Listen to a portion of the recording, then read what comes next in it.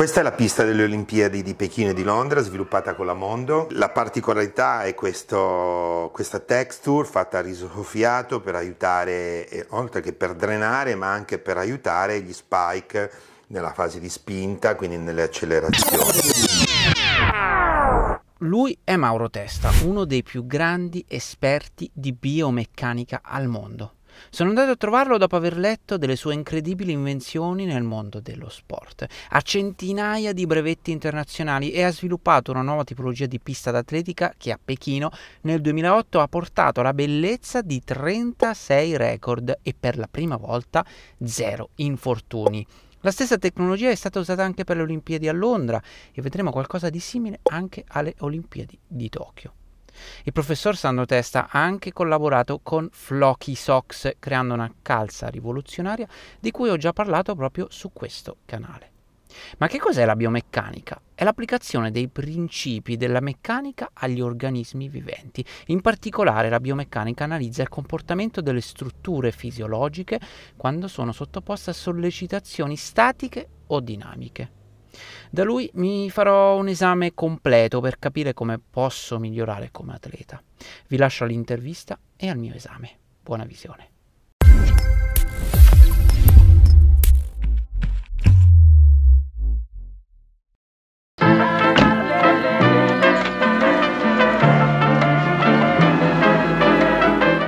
O vuoi che ti dica hello? Ciao. Ciao, how are you? Simone, benvenuto. Eh, ti, ti, spieghiamo un po', Dani ti spiega un po' come funziona nostra, il nostro laboratorio. Questo non è né un centro di fisioterapia né una palestra, il laboratorio di biomeccanica è costituito in modo diverso. Questa è la zona nostra di reception, vero esatto, Dani? Esatto, esatto.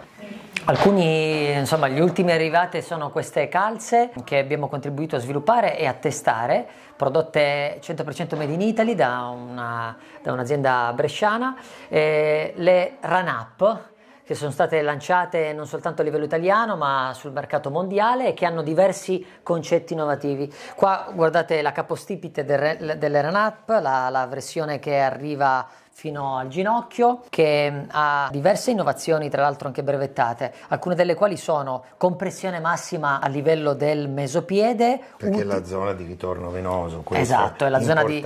non la caviglia, non esatto. il calf. Comprimere il calf significa fare stenosi, cioè laccio, non serve, il sangue venoso, la stasi venosa è qua. Esatto, perché di calze compressive nel mercato già i nostri amici sportivi ne trovano, protezione del tendine d'Achille e anche questa sorta di tape sul polpaccio che ovviamente lo stabilizza. 23% in più addirittura. Sì. Wow. C'ha l'antiscivolo che dà più grip, dà più stabilità. Qua troviamo poi alcune delle varie innovazioni che Mauro nel corso del tempo ha inventato e ha tirato fuori nelle sue numerose collaborazioni con diverse aziende italiane e insomma straniere legate al mondo dello sport. Tra tutte vogliamo ricordare, visto che insomma siamo anche in un periodo dove si parla di calcio, di quella che è stata la, la primissima scarpa da calcio senza lacci al mondo, eh, fatta a suo tempo da Lotto e che tra le varie innovazioni inserite appunto e pensate da Mauro vi era anche quella del famoso twist and go. L'altra cosa proprio legata al running, Danni, è questo, questa ca- scarpa sì. che ha dei concetti innovativi. No? Qui c'è il Reactive Arch, c'è è la prima scarpa credo al mondo che non è un difetto della suola ma che l'arco riproduce ah. eh, l'arco trasversale quello che è ripreso dalle teste metatarsali.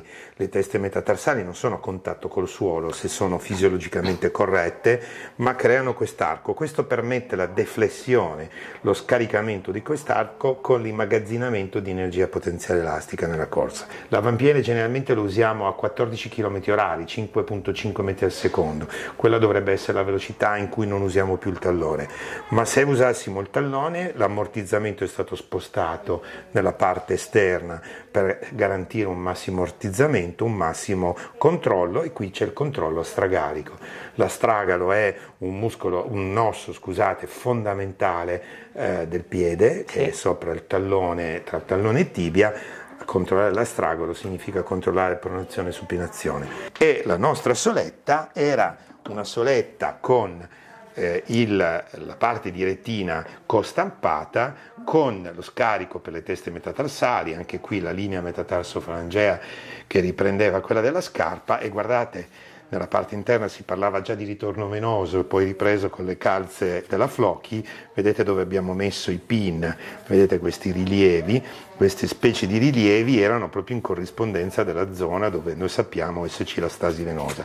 Guardate la reattività di questa suola, è incredibile quindi eh, non, non, riusciamo a manco tenerla in mano. Eh. Di, di qua eh, hai tutta la parte di valutazione antropometrica dell'atleta, quindi l'atleta arriva riempie e compila un questionario. Abbiamo tutta una serie di strumenti, questo ci serve per fare la BIA, per fare eh, la composizione corporea dal punto di vista del grasso corporeo, questo ci serve per misurare la lunghezza delle braccia negli sport a catena cinetica chiusa, questo mi serve per vedere con delle luci laser se ho una corretta posizione tibiale, quindi se ho una tibia intra o extra eh, ruotata da, da questo punto di vista, quindi riesco a vedere con il laser se ci sono delle intra-extra rotazioni della tibia e quindi se ho una tibia con le rotule extra ruotate o intra ruotate che possono ovviamente determinare carichi eh, alterati a livello del ginocchio. Eh, queste sono pedane baropodometriche che ci consentono di misurare eh, tutto quello che è la, la parte di, del soggetto eh, per quello che riguarda i carichi, per quello che riguarda la gate analisi e quant'altro. Questa è una pedana ehm, morbida, flessibile, uno dei test che noi facciamo al, al runner per capire se è instabile o meno da una parte dell'arto, cioè se ha un ginocchio stabile eh, o un arto più, più, stabile, più coordinato rispetto all'altro, gli facciamo fare, questa è una pavimentazione come vedi molto instabile, costruita da noi, poi ti farò vedere come è fatta sotto e io praticamente gli faccio fare un affondo, in questo modo, il mio soggetto deve stare 15 secondi in questa posizione, quindi simulo il passo, simulo lo step e vado a vedere qual è l'arto tra sinistro e destro in cui c'è più instabilità nella fase di appoggio, di landing. Utilizziamo insieme, questa era anche un'altra delle cose che facciamo durante il test del running, in laboratorio all'esterno, questi sono pantaloni elettromiografici, nella parte interna hanno dei sensori elettromiografici che vengono indossati dall'atleta, tu li proverai, e indossati dall'atleta questi ci consentono di misurare il soggetto sul tapirulan, qui vedi che c'è un tapirulan con delle telecamere per misurare il runner, ne abbiamo una che mettiamo qui laterale, ne abbiamo una che mettiamo davanti e ne abbiamo una in slow motion fino a 1000 frame per secondi nella parte posteriore. Noi crediamo poco al test sul run, sul tapirulan, per il runner, cioè non crediamo che il tapirulan riproduca l'esatta corsa eh, su strada. La corsa su strada non può essere riprodotta da un tapirulan per due semplici ragioni, perché quando noi facciamo partire il, il, il, tappeto, il nostro tappeto va indietro, come puoi vedere. Quindi la mia estensione dell'anca, che è a, a motivo del gluteo, è fondamentale nella corsa e anche nella, nella stazione retta, quindi nell'ortostatismo dell'uomo, è uno dei muscoli posturali più potenti, e io sull'asfalto o comunque su un terreno spingo, qui non devo spingere qui mi porta indietro in automatico la gamba. Non solo, da un punto di vista biomeccanico, quando io atterro nella parte diciamo del suolo, ho una fase di decelerazione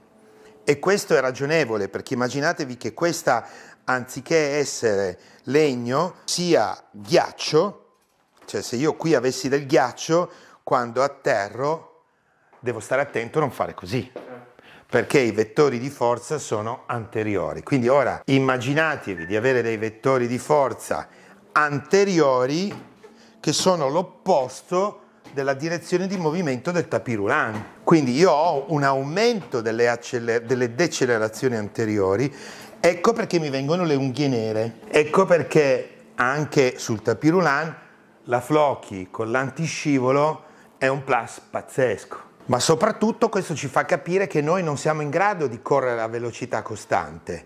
Noi corriamo per accelerazioni ed decelerazioni. Questo va a velocità costante. Quindi cosa faccio? Metto un soggetto che accelera e decelera su un tappeto che va a velocità costante, è una follia. E quindi questo non potrà mai riprodurre la corsa che ho su strada. Allora, wearable technology, tecnologia indossabile. Pantaloni, abbiamo anche la maglia, dentro il pantalone posso inserire anche il dato accelerometrico. Stiamo sviluppando una maglia chiama, con biometrica, si chiama Swimax, la vedrete prestissimo per i runner, che ci dice il sudore perso durante la corsa e mi dice la quantità di sali persi durante la corsa e lo vedo dal mio telefonino. Quindi io corro, ho il mio cardiofrequenzimetro, ho mia maglia, la mia maglia che mi dice quanto ho sudato e mi dice anche quanti sali ho perso. Ti puoi sedere su questa sedia molto particolare, anche questa è una nostra modifica alla sedia Ikea Vedi?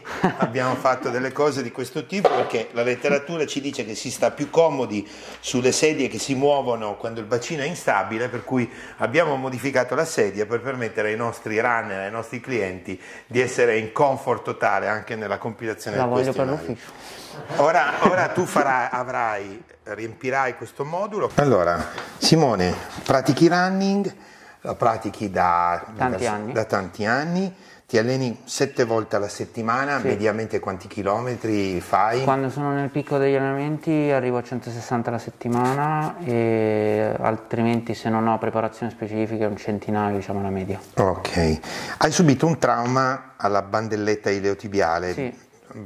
Ci vuoi raccontare? Eh, mi è successo tre anni fa, anche quattro anni fa gravemente, nel senso che mi ha tenuto fermo per un anno perché ogni corsa mi riusciva fuori l'infiammazione del, del ginocchio destro e poi mi è risuccesso adesso facendo un'ultima maratona che mi ha dato un po' fastidio anche se devo dire che è passato dopo, dopo ecco mi dicevi che hai un'anca sulla domanda sì, numero... l'anca sinistra quindi è l'anca qui. sinistra sì. che ti fa male ok mentre la bandelletta iliotibiale è a destra. a destra ti ricordi l'episodio nel quale è cominciato questo tipo di infortunio? E dopo quando ho iniziato a prepararmi per la prima, prima maratona ok capito quindi in, normale, in un normale allenamento. Sì. Perfetto, adesso abbiamo un quadro completo della tua, eh, tua, della tua situazione, non hai disturbi fisici mm. nella vita di tutti i giorni, quindi sei, sei, tranquillo da questo punto di vista. È il tuo primo confronto con un sì. biomeccanico, quindi speriamo che l'esperienza per te sia positiva. Ti chiedo ora di toglierti le scarpe. Sì e, eh, e vieni, eh, ti metti in questa posizione qua e io ti valuto da un punto di vista fisico, uh-huh. ok? Semplicemente come sono gli appoggi, quindi valutiamo a livello di arco plantare com'è il tuo arco plantare, la mobilità del primo dito, vedo già che hai un dito, tutti e due le, i primi metatarsi tendono ad andare in valgismo. Qui vedi sia il primo che il secondo, poi toglieremo le calze, lo vedrai, tendono a valgizzare, quindi ad andare ad avere una luce valgo. Una luce valgo non è un bel una bella situazione perché generalmente una luce valgo è una luce che non spinge, uh-huh. quindi per quello che riguarda la corsa è invece molto importante avere la luce che spinga. Andiamo a valutare le pieghe glutee, cioè la piega glutea di sinistra leggermente più bassa, se ci sono delle evidenti a livello visivo ipertrofie, quindi muscoli un po' più grossi da una parte dell'alto, lui ha i polpacci molto sviluppati, un po' meno la parte glutea e andiamo a valutare sulle creste iliache se le creste iliache hanno anche loro una caduta leggermente a sinistra. L'angolo della taglia destra, che è quest'angolo qui, è leggermente più chiuso, quest'angolo qua, e la spalla, Dani, tu come le vedi? Metti pure mani giù, spalla destra più bassa, ok. Adesso ti chiedo di chinarti toccandoti la punta dei piedi, però senza piegare le ginocchia.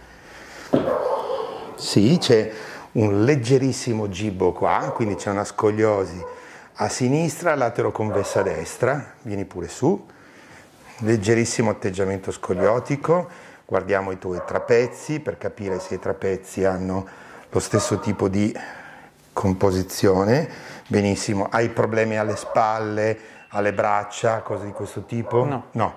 Ti chiedo di fare mezzo passo indietro ora, proprio mezzo passo, mi fai questo lavoro qua mi vai in affondo e mi stai in affondo. Con poi, la sinistra? Sì, e poi con la destra. Ok? Quindi prima una e poi l'altra. Qui noi andiamo a vedere se vai in vagismo dinamico, ok?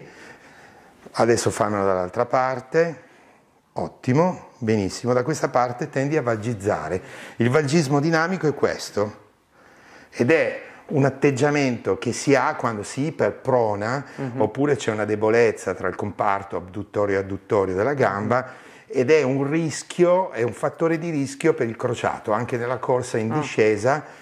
Quando c'è una tendenza di questo tipo, il soggetto può avere la tendenza ad andare in, ad avere questa problematica. Resisti 15 secondi. Tieni, tieni, tieni. Ovviamente qui vediamo se sei più stabile o meno instabile da una parte mm-hmm. rispetto che dall'altra. Sei muscolarmente molto corto mm-hmm. e questa articolazione qui nel tuo caso non funziona benissimo. Uh-huh. Quindi sei particolarmente limitato funzionalmente in questa zona qua, eh, legandolo al fatto che quando noi corriamo le due ali del sacro si muovono, uh-huh. ok? Praticamente le due, l'ileo si muove più che le due ali del sacro, scusate, l'ileo si muove, muovendosi l'ileo io ho bisogno che questa articolazione funzioni, se no vanno in sovraccarico i muscoli della colonna. Tu tra l'altro hai anche la muscolatura posteriore non particolarmente elastica, abbiamo visto nell'elettromiografia di superficie che lavori molto con gli hamstring eh? tendi a lavorare molto con gli hamstring e come carico abbiamo visto che sta un po' indietro, quindi hai un bacino anteroverso. Questo favorisce i blocchi dell'anca. Adesso vediamo se sei dismetrico oppure no. Sulla gamba di sinistra, perfetto, vedi che va già in compenso. Compensa già. E su quella di destra. Perfetto, siamo un po' più bloccati a sinistra. Ora mi metti la gamba di sinistra, me la metti in questa posizione qui, quindi femore in posizione verticale, estendi tutto il ginocchio, tenendo il femore orizzontale, estendi il ginocchio. Compensa. Pensa che dovresti arrivare qua. Mm-hmm. Okay? E compensi moltissimo di qua. Fammelo dalla parte opposta. Non si vede. Oh. Sì, sì, ma si vede sia... L'altra, mm. esatto. Mm. Okay. Perfetto. Adesso ti chiedo, sempre in modo autonomo, di portare le punte dei piedi, ok? Uh-huh. Tu hai un problema all'anca di sinistra, no? Di portare le punte dei piedi in questo modo, vai. No, no, gambe giù però, ruota, ruota, ruota più che puoi. Ok, qui sembra che, guarda i compensi, allora ti tengo giù le ginocchia, ok, rifallo. Buono. Allora, in intra-estra rotazione sembra esserci una buona mobilità dell'anca di sinistra. Adesso lo vediamo nell'altro contesto. Ti chiedo di metterti a pancia in giù con le mani sotto il mento. Pancia in giù, mani sotto il mento così, bravissimo. Adesso ti chiedo di portare il ginocchio verso il gomito. Tira tutto su. Vai, vai, vai, vai. Aspetta che segno. Hai una penna, Daniele? Eh, Scusate, prendo una penna e segno fin dove sei arrivato. Ok, fallo dall'altra parte.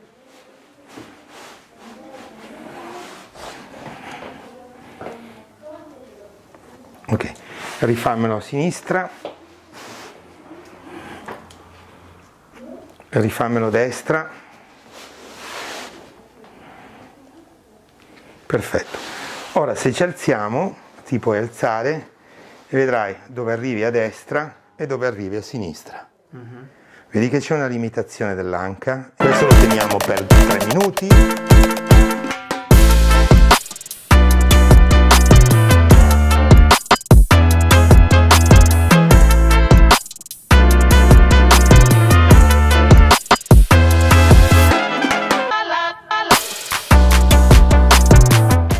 Allora abbiamo quadricipite sinistro, lavori molto tutto a sinistra, iperlavori a sinistra, guarda qua. Quadricipite sinistro, hamstring sinistro, praticamente la parte destra non la usi, utilizzi anche molto il gluteo sinistro.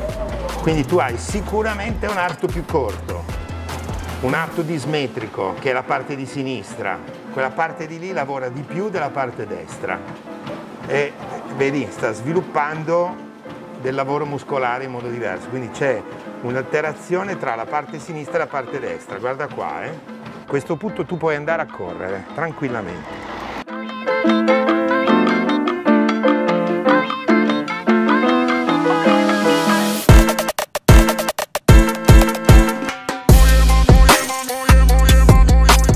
Quindi avendo visto che c'è una dismetria a destra, in questo caso al sinistro è più lungo, prova semplicemente aggiungendo una soletta sulla parte proprio più, più, corta, quindi sulla parte di destra. Quindi sulla scarpa destra metti due solette, sulla scarpa di sinistra ne lasci una sola. Così vediamo se il lavoro muscolare si equipara ed equiparandosi se si toglie questo sovraccarico all'anca di sinistra che tu hai percepito.